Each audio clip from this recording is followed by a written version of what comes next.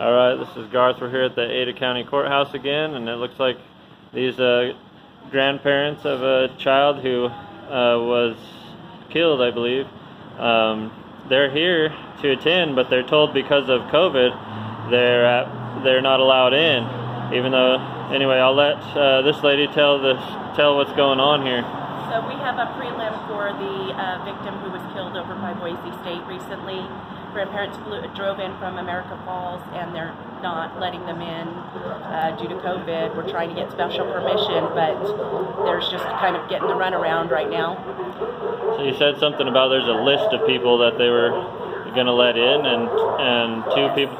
Two of the people that were on the list couldn't make it, so we were hoping that we could get them in in lieu of, but they still said unless they specifically have their names on the list, they can't go in. Wow. And these are the people that raised the victim. These raised raised the victim. And then we have too that we can't get in. They've been crying out here for for over half hour. I've seen them because they can't see. They're they can't be involved in this case.